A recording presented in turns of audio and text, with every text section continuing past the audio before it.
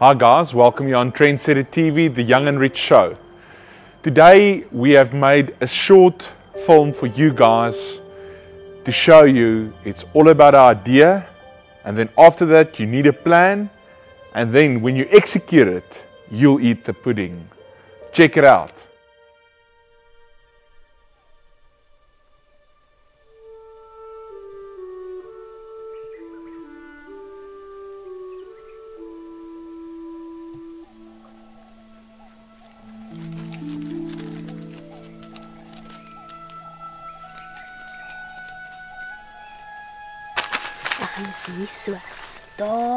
Onder, okay?